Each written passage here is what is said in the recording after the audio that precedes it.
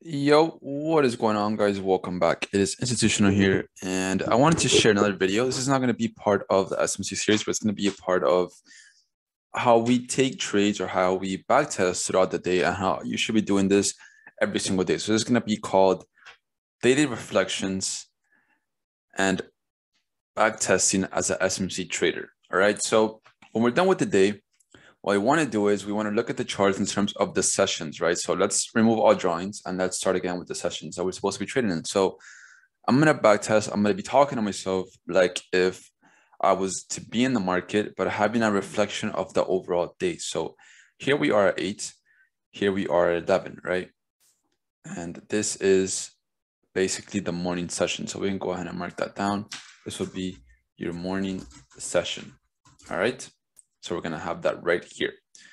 Now we can do next is we can go ahead and mark off now our afternoon session, which is from 13 o'clock. So 13, which is 1 p.m. all the way to 16, which is 4 p.m. Okay. Right there. And this will be now, instead of morning session, this will be our afternoon session. Right. So we can have that there as well we don't have to put it here. We just, let's just put it like this, right? So we'll write right here. It will be morning session in this line.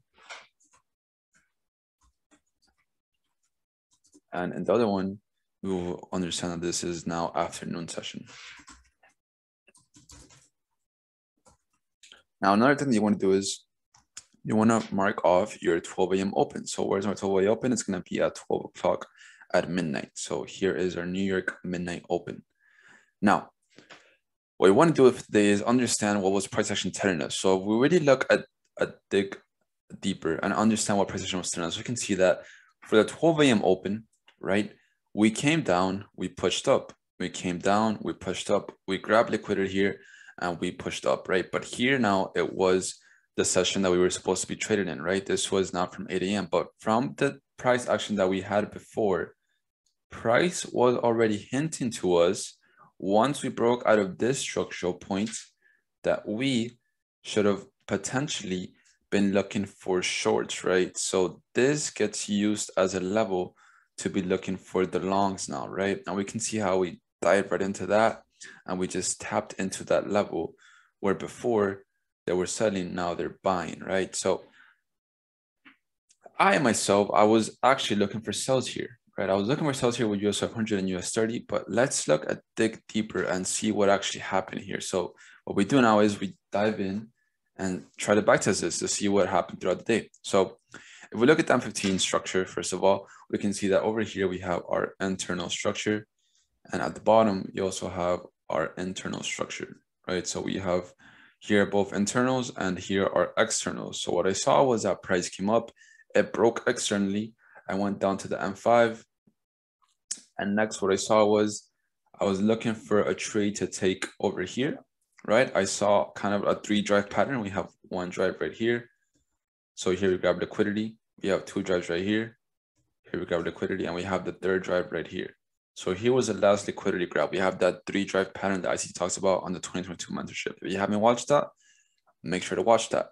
Then I saw we had a displacement right here, right? Once I saw this displacement and this break of the swing low right here, right here's a candlestick.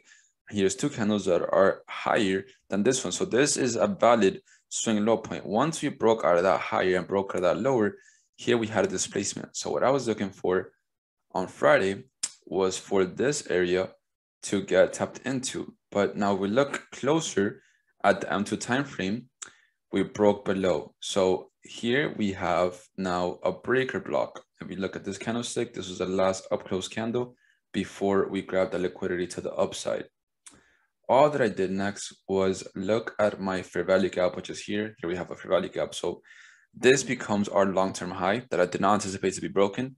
And this becomes our intermediate term high or short term high, whatever you want to call it, that price let's is lower low. So we shouldn't be coming back up here if we're to continue with the bearish trend. So once price drops down, price comes right back up at 930 and then it tags me in. My trade was like this. I had my shorts right here at the 50%. I had my stop loss right here, and I had my take profit all the way down here. So I had a nice 4 to 1, and we were able to tag in all the way from 2, 2.9 to 1, right? Once I saw price come down over here, I put stops at break even and we got stopped out of break even. And then I was looking at it, essentially what I was looking for was this M5 right here to now be respected because if we look at it from this lens, then I thought that this value gap will still be respected. And we can see how this, mm-hmm. instead of being a bullish buy, it becomes an inducement. So just like me, there were other traders looking for this as a sell because we can see how we actually came back down. But once it did that, then it made sure to stop everybody else. So once we see things like this, now we have to understand, all right, we are in the wrong trend. So the better thing to do now, we're not going to be trading up here because if we look at it from this swing up higher, from this to this, we are not below equilibrium. So we have to keep on moving forward, right? We have to keep looking for swing points that are above or below equilibrium. We're looking for the longs, right? So now we took a break even and we took a loss today. So now understanding this, well, what could we have done better throughout the day? First of all, what we could have done better is look more at the 12 a.m. open and understand that price was already hinting to us that it wanted to go higher. Second of all, once we had this drop down and once we got stopped at a break even, we should just let price do its thing because we can tell here that this looks more like a liquidity grab to go higher. So once we start getting these type of wicks right here, if we're not out of the trade, we should be out of it. And once we break above this, we should understand that our structural basis that we had as far as this breaker goes is now breaking. So we shouldn't be taking this trade anyway. That's what we should be learning throughout this day. Now, looking forward, all right, how can we have capitalized now from the midnight open? Because now we have shifted from a bullish trend to a bearish trend, right? From a bearish trend to a bullish trend for from this intraday basis. So now what you do is go to the M15 and look at your structure points. Okay, so what I saw next was that here we can go ahead and take up the morning session trend. What you want to understand also is that whatever the morning session does, 90 or 80% of the time, we're going to get a continuation on the afternoon session trend. So this is where if you had a losing trend in your morning session, you were able to capitalize in the afternoon session. Okay, but I was with my girlfriend, so I did not see this trade. But we're backtesting this for a reason, so we can have this in our journal. You're supposed to do this every day. Every day when you're done trading, you take out your recording tool, and if you don't have a recording tool, open up Zoom, record yourself, see what you did wrong, see what you did right, and see what you can do better. When you start doing this every single day, you'll gain a better perspective what you're supposed to do when you're actually looking at the charts in real-time basis, right? So now, what did we have for the morning trend? We had a bullish trend. So we understand now that most likely we will get a bearish trend for the after, I mean, sorry, a continuation for the afternoon session. So we can go ahead and take this off and we can go ahead and mark off our ranges from our bullish trend. So where is that to be? It's going to be right here, right? Here's our internal. Here is our internal, right? Now, does price want to come back down here? Does it want to? Well, not really, because here we already grabbed the liquidity we had to grab from this range. So now we have to look at where could be the next level where price could reject. And if we look to the left, well, what do we see here? We see a clean as day fair value gap, and we also see what is this candlestick, this up close candle? This is a breaker candle because this candle was the last up close candle to grab the liquidity from the bottom. So we can mark that off right here here is our fair value gap, right? Now, what I also have that I can't show you guys is in my other screen, I have two, well, actually I can't show you guys, right? So let's go for it real quick. I have two screens right here, but this is gonna be in my other screen, right? And if you take a look at what's happening here, this is a very powerful tool and this is why you should always have two screens, right? So this is on my laptop my main monitor is what I'm showing you guys now through um, the Zoom, but I'm showing you guys now a little bit about how you could have seen this trade transpire on the afternoon session. So on the morning trend, we had a bullish trend. Afternoon session, we had a retracement, but overall, we're bullish. If we take a look at US 30, what can you see right here? You can see that we came down and we actually grabbed liquidity, right? So here's what we can call SMT. If you don't know what SMT is, you can watch ICT or you can watch my YouTube channel. I made a nice simple video about it, a couple videos before this one, right? So here we have a lower low and here we have a higher high.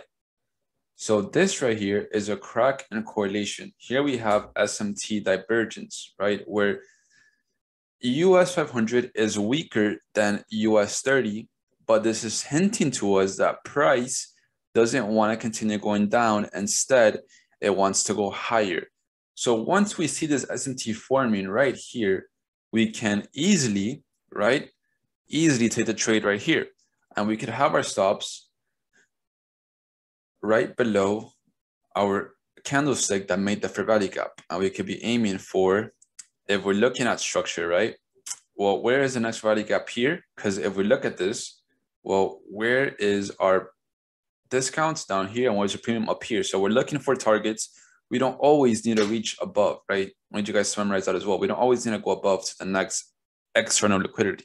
We could still be shifting from an external basis, which is what we did here. You can see out here, we have a value gap and we have an up close candle. So this drop down is still valid. We are still relatively in a smaller bearish trend, but overall for the day trend, we were in a bullish trend, right? So it's mega confusing, but again, it's just how we can make it simple is looking at it like this.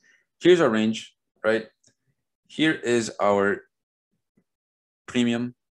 So here we're looking for sells, and here is our discount. So here in the green box, we're looking for buys. When we're looking for targets, right? We're looking to buy here when we're looking for sells or we're looking to close our positions, we're looking to sell anywhere above these levels. What we're looking for now is imbalances where potentially price could reject. So if we look at it, here we have a breaker candle as well. Here we have an imbalance. So potentially this could be a level where you could be aiming for a target. So this would be a nice little three to one, right? And if you look at it up here, this could be a level you're looking for a target as well. And what would that be? That will also be, now it will be a five to one, right? So not bad. You don't need to be going for those extremes, seven to ones, eight to ones, 10 to ones, because price is not always going to do that. We already had a significant run to the upside in the morning session. So even if we're bullish, don't expect price to just keep on going and handing over free pips, especially on a Friday. So now let's take this off. But let's say now that you missed this trade, right? you're still reflecting, right? You're, this is hypothetical bellwether, understanding what you could have done better. So I myself, I again, I wasn't looking at charts, but now I'm backtesting it so I can see it the next time that it happens and I can have an idea what I'm supposed to do. So now let's say we missed the SMT, but we have an idea that here we have SMT, right? So I can go ahead and mark that off. All I'm looking for now is some sort of displacement to let me know that price wants to go higher in smaller time frames. So let's drop down to the M5. Okay, well, what do we see in M5? We see that the price comes up and comes back down again. And then we have come up and we break out of this structure, right? Here, this swing high is this candlestick and this candlestick is lower than this one. And it also grabbed liquidity to the bottom. So this is valid. So this swing high is now broken to the upside. Now what we have to look for in this price range is, is there a fair value gap that I can trade from on my time frame entry structures? If we look at the M5, is there anything here? from this push up right here that we had. Is there anything here? I don't have anything, right? So what I'm going to do now is I'm going to drop down towards the M2. All right. If we look at the M2, here we have a cleaner displacement from this M15 fair value gap that we had marked off, right? So now all I'm doing is looking at price so it can show me where we want to go towards next. We have the SMT, we have the morning session run, we already have the confirmation that price wants to go higher. So now what we look at it is here is our fair value gap. Here is our imbalance. All I want to do now is capitalize from that. So I'm going to go ahead and mark that off right there. I'm going to go ahead and put that. My stop loss can be either below this order block down here. Here's an order block. This last down close candle led to the push up. So I can mark that off. Or it can be below the last candlestick that made the order block. I mean, that made the fair value gap, right? So now what I do is I traded at 50%. So here's our imbalance. I'll be looking at price to come down to 50%. I'll put my stop loss right here. How you guys can mark that off is I have a visual of it, but if you don't want to do that, you can just put it like this. And you can see how you can just put it right there at 50%. Majority of the time, fair value gaps fail at least at 50%. If it fails it completely, even better, but sometimes it won't do that. All right. But majority of the time it will fit the 50%. So I mark that off. I'm gonna have my stops right here below my order block. And I'm going to have my take profit. Like I said, I'm going to be looking for levels where potentially we could reject. So where is our, if we look now to the right, where is our premium above here? So where do we have a target? Here's target one, right? One, where is target two? If we look at it right here, here could be target two because here we have some nice trend on liquidity. So we won't be looking for that. We'll be looking for this to actually get broken into.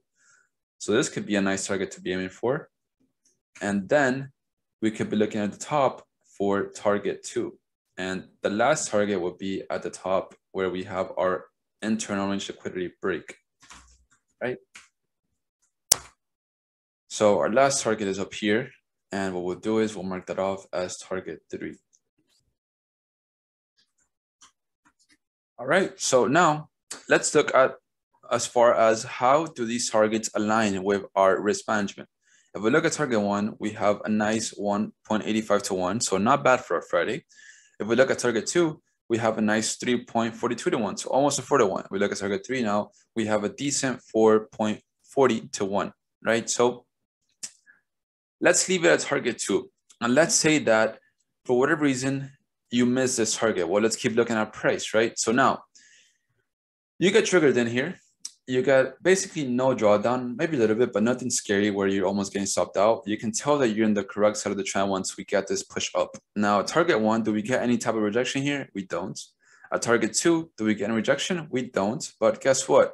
We get a nice displacement. Once we get this displacement here and price gives you equal lows right here, you can tell yourself, all right, I'm definitely in the wrong side of the trend, right? I could start shifting now because we are reaching or we are approaching that 4 p.m. time where institutions or whatever you want to call it, algorithm, SMC traders are closing their positions. So all the longs they accumulated from the bottom here, once reaching this time frame, they're already closing. So this is what's called profit taking. So think about it like this. If institutions are closing their longs, now shorts are able to capitalize from it because there's no more longs that are pushing the market up. So now the sellers are coming in, right? So how you can see this is the market always gives you footprints. So what do we have here? We have equal lows and we have also an imbalance. So if we're looking at this and we were not able to close our trade, you don't want to close it just yet. You want to wait for, again, price to come up here. You look at the 50%, right? And all you do is put it right there. And once it reaches the 50%, you're out of the trade and you secure yourself a nice little three to one, right? And you can see our price comes down, out of the equal lows. So if you're a risky trader, maybe you could call on that sell, but it's not worth it, right? Because price could just grab his liquidity and continue going higher all the way to target three. But this is how you're able to back test, start looking at the market from a bigger lens of things. Look at what price action has done. You do this every single day. And when you do this every single day, like I said, you'll start getting a better understanding of the market as far as FVGs goes, OBs, and what the market is essentially hinting towards, right? So yeah, I hope you guys got a little bit from this video. I will see you guys in the next one. I'll be doing these at least twice or three times a week so we can get, get a better understanding of it. And then we'll continue a series of shifting from retail to SMC. But this will be all for today. I will see you guys in the next one. Safe trading, guys. And let's get it this week. Okay. See you guys.